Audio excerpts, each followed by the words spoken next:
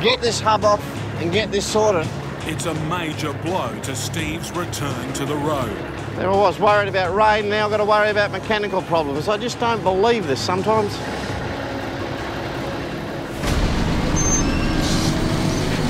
Bella and Steve have a big journey lined up. They need to cart over 100 tonnes of cement and construction materials to Central Australia. We've got to get this load to Alice Springs urgently. Unseasonal rain has turned Steve's normal route to mush, forcing him to take a much longer detour. The only option is to go across the bottom or right around the top. And across the bottom is the cheapest option for my customers and it's the least, least rained on option.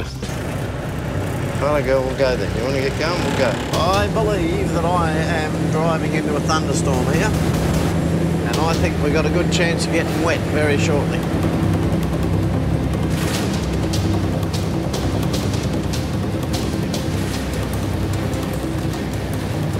That's rain, boy. That's heavy rain. It's These storms, they, their onset's really sudden. It's immediate. You know, you're driving along, you just hit a wall of water and wind. As the rain backs off, another hazard puts Steve on high alert. Water on the side of the road is drawing dozens of thirsty kangaroos. Don't run back, you idiot.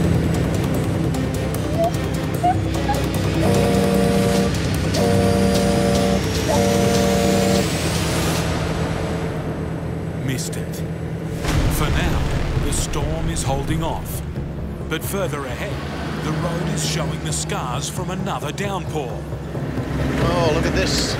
There's been a lot of water on this road. The skies are clearing. But on the road, all the signs of recent rain. Now, this river looks like it could have issues. So I need to get myself right down in a low gear. And I will engage my cross locks. Cross locks give equal power to all four drive tyres at the same time.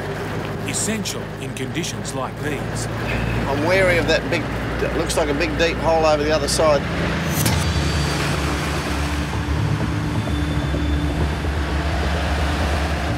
It proves no match for Steve and his truck. But the next bog hole is much deeper. Now I'm starting to go off the edge back there.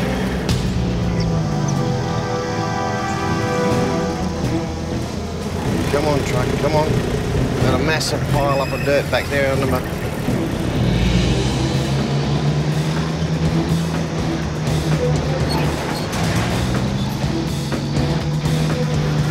This is a big ask of these trucks every time.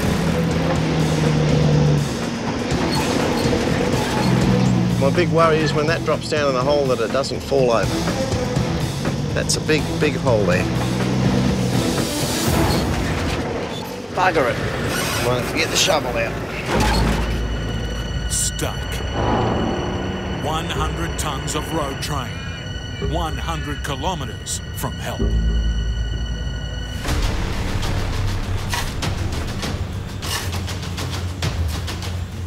And with one trailer dangerously unbalanced, he needs to work fast. That is starting to be a bit of a scary angle. That's my concern, that this trailer doesn't fall in there and fall over. Luckily, he's got an escape plan.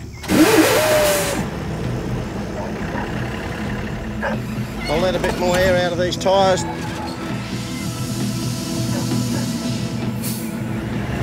I'll drop my tyres on 50 pound, I'll drop my tyres down to 40. Let it build up plenty of air, release all the brakes and give it a little go. Deflating the tyres puts more tread in contact with the ground, increasing traction.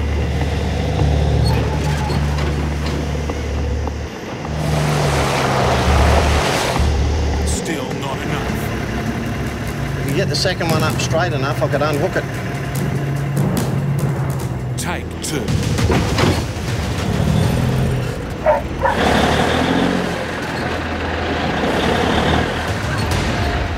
I'm going to rip the clutch out of this truck if I keep doing what I'm trying to do. All of what that, that engine's giving is going into the ground. Something will break. Back trailers are stuck. They're just dead weight, stuck in the wet sand. With no way to call for help, getting out of here will come down to one man and his know-how. I've got to ease the load on. So I'll drop this back trailer. That's uh, nearly 40 tonne. I'm not trying to pull through the water. If I can get it unhooked. Pulling the trailers free one by one will take longer, but put less of a strain on the truck. Now Steve can adjust his line of attack. I'm going to try and pick this trailer up on a different angle in new wheel tracks.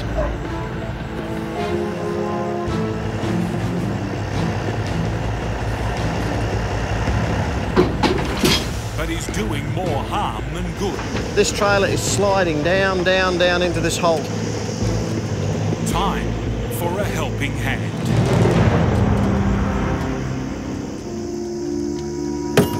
He's usually locked in his dark little cave in here. Serious, bad chain.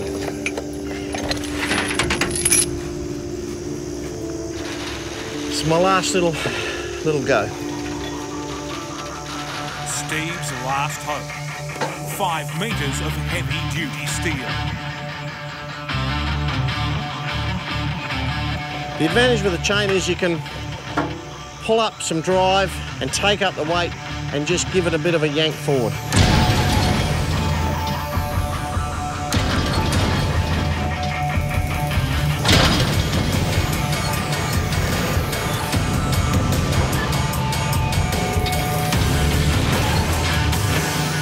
One down. You might see a smile when the next one comes out. Just the tipper to go. It'd be fair to say, that last trailer was difficult. This one's dangerous. Hit the steep sides of the bog hole, and this rescue attempt could be all over. I've seen tippers fall over in, in mud holes like this. This one's scary. There's one other option. That's why I'm going to pull it straight in the hole.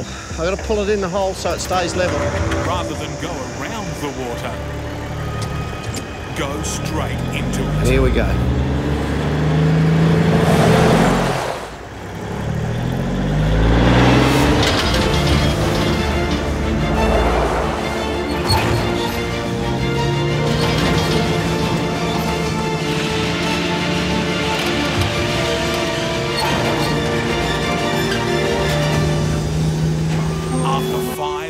Five anxious hours, freedom. When you get out of a mess like that all by yourself, it's, you know, it's not without a sense of sat- satisfaction. I'm going to get on with it, put this whole thing back together again and go deliver some freight.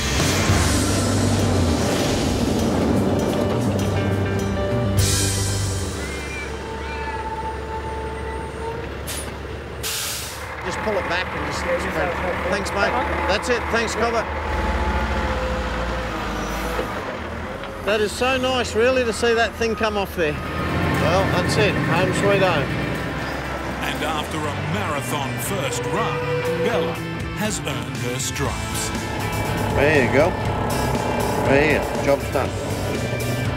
You're learning. You're slowly becoming a truck dog. In Perth, legendary trucker Steve Graham has a delicate and difficult cargo. As you can see, it's an awkward, ugly looking thing. The new water tank and its components are headed to a remote Aboriginal settlement. This is a dry country, Australia, and it's in the middle of a dreadful drought. This is to give these little communities more water as we go into the future. At this time of year, the Kimberley region is one of the hottest parts of Australia, with temperatures climbing into the mid 40s. It's the build up to the wet season, which brings increasingly dangerous weather. We've got to keep our eye out for whatever the outback might dish out. And it's got a few good tricks it can deliver. It's got thunderstorms, bushfires, it's got wildlife on the road. Who said this was going to be a holiday? Steve's road etiquette is soon put to the test. A pair of 8 metre wide mining dumpsters are collecting traffic. The oversized convoy is following closely behind the pilot vehicle, giving Steve little time to pull over safely. Yeah, I got it, mate. I got it. Bit close. Forcing Steve off the road. Oh, shit. Have a good night, mate. No worries, fellas. It was all a bit sudden there, but we'll be right. Yeah, normally the front pilot's a bit further out, and you got a couple of kilometres at least to get a decent spot to get off. Anyway, no choice in the end. There's a couple of white posts down. But as temperatures soar past 40 degrees, his engine struggles in the desert conditions. The front dip's up to 100 degrees now, the gearbox is up to 90 odd. I'll just probably start backing off a little bit, but um, I can't lose sight of the fact that I have to be there to deliver Friday morning at the latest. Carrying a full load of water tank components, it's the last 20 kilometres of the journey that puts his cargo at most risk. This road might be a case of it's the end of the year, and it's been a fair while since it's been graded, and you just get what you get. The lower tyre pressure increases traction on the rough surface of the road. My tyres are showing a deflating light, but there's no deflation going on.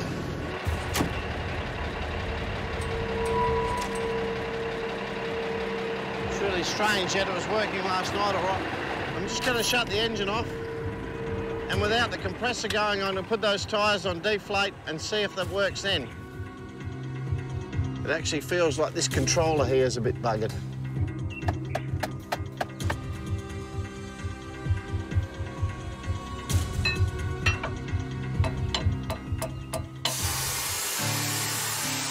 just a bit of heat in there and it was a bit of wriggling the leads. My mother taught me that repair, whack, whack. After two hours on the dirt, Steve reaches his destination Good truck. Always does a good job, this truck. on schedule with his load in perfect condition. Tell me when to stop, mate. Beautiful. Righto. The boys are going to unload me, which is bloody good news. But there's a problem with Steve's second trailer. Looks like we might need another sling. Missing is a sling needed to stabilise the tank lid while unloading. It's probably still sitting on the forklift out in Pioneers Yard. I've got straps here you can use. I mean, the straps are rated for 2,400 kilos. Right, let's do that. And what we can do is put a ratchet on the end, which is, ra- you, you know, jo- where you want to join it. The Yep. team opt for some outback innovation. And then we ratchet that to its mate. Yeah, because the two back ones stabilise it.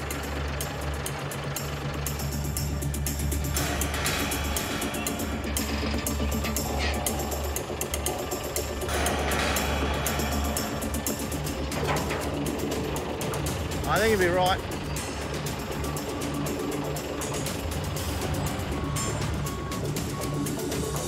Once it's off the trailer, it's out of my hands. It's another job done, and another job done's always good. In Perth, Western Australia, veteran trucker Steve Graham is racing to assemble his road train before nightfall. To hook onto this trailer now. That's part of the load, the steel, the structural steel that we're taking across.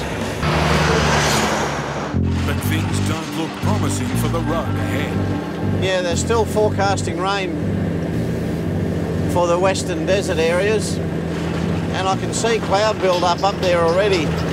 My biggest worry is that central road is so good at the moment that the shires are going to be desperate to protect it, and they'll they'll close it. They'll close it at the first drop of rain because they've spent so much money and time and machinery on that road this year. And if they shut the road, then it becomes a huge issue. I'll be bugging. After 500 kilometres, Steve pulls over for a routine inspection of his load. I can smell diff oil.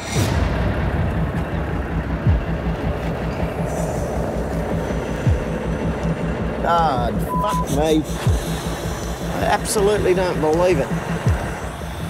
I can smell diff oil, I can see diff oil, I've got a wheel seal gone. There's a line of oil spraying up on the mud, bottom of the mud guard there. A wheel seal gone and this brand new diff. Blowing a seal on a drive wheel is a serious problem. We're gonna have to get to Mount Magnet, get a mechanic, get this hub off and get this sorted. It's a major blow to Steve's return to the road. There I was worried about rain, now I've got to worry about mechanical problems. I just don't believe this sometimes. He's racing 200 kilometres to the nearest town.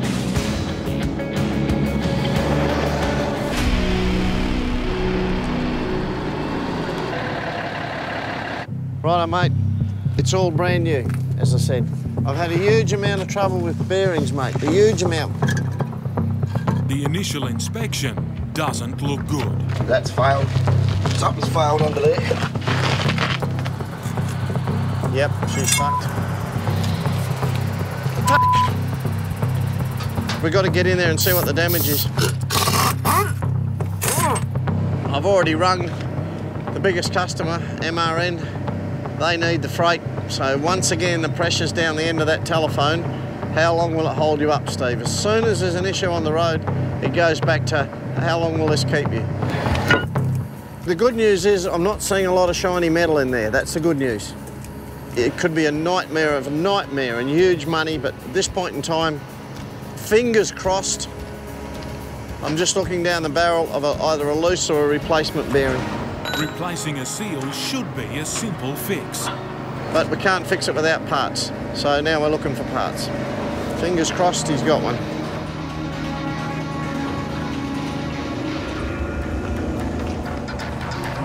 So the seal's a bit tight. He's out of luck. Civvy hasn't got a seal on him that fits this truck. Steve could be stuck for a day, waiting for a new part. He's going to go for a drive around town to see some of his mates and just see if we can jag one in town here this afternoon. If we can, it gets me rolling in the next couple of hours or so. The weather's picking up. That rain that we thought was around is definitely around. I just hope this is not happening out in the desert.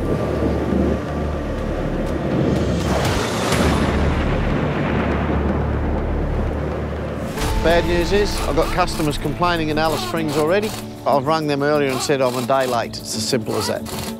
That you'll crawl over broken glass to get the job done. Everything depends on you. We're Good to go.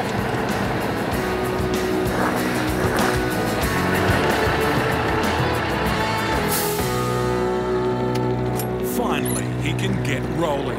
No worries at all, mate. Much appreciated, Copper. I'm, gl I'm glad you're here. Same trip, mate.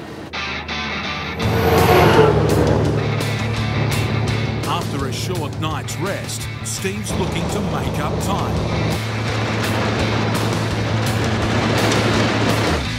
As he heads into the desert, his worries about rain are evaporating, I think it's about 40 degrees out there. replaced with concerns about the heat. My gearbox is running up at over 100 degrees Celsius, so I've just dropped it back a bit to 85, 90.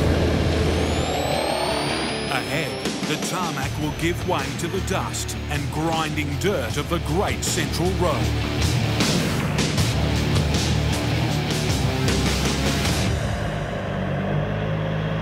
One last chance to fill up before the long haul. I'm getting every last drop in to get me across the desert. $2,000 worth of diesel should do the trick.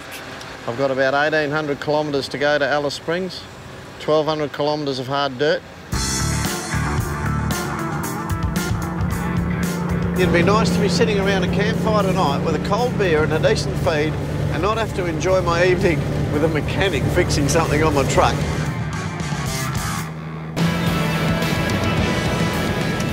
Well, here we are. That's another one in. Thank goodness for that. After getting it here in one piece, the pressure's on to unload quickly.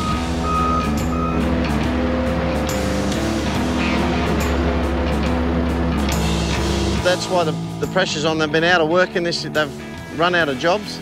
So that'll keep some of the men going in the morning unloading by hand the stuff out of that container. 1,500 hard kilometres stand between Steve and Darwin.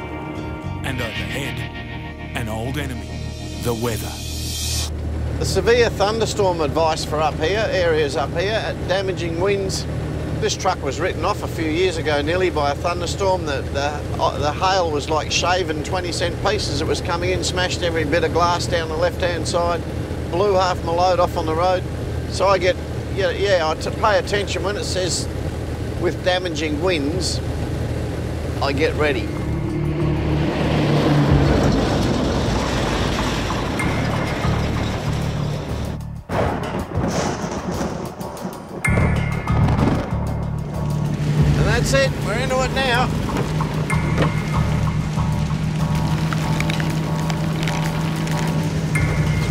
About this business, it's a business of extremes. And that wind is awfully strong.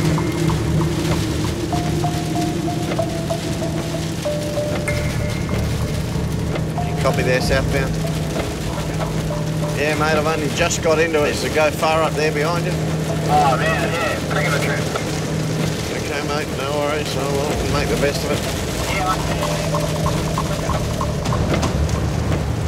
Well, it looks like it's round two coming up. I just had a little bit of spell from the weather just said it was a nice, easy bit, but looks like some serious stuff coming up again. In the heart of the country, Steve Graham's fighting wave after wave of monsoonal downpours. It's all around. It's nice and messy.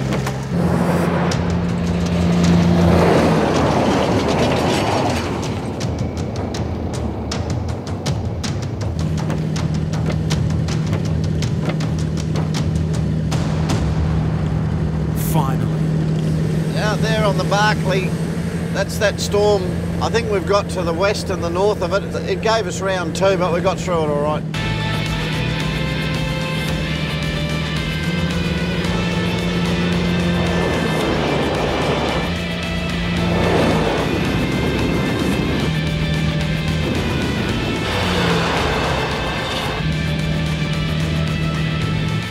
it's been eight days and 4,000 Ks, but he's now closing in on his destination. Only a bit over an hour out of Darwin. After four months off the road, it's another job well done for this Outback legend. It's been one of those trips that once I got out in the desert and settled down, it was good. The jump up that can catch me didn't catch me. The corrugations that could bash me didn't bash me too badly.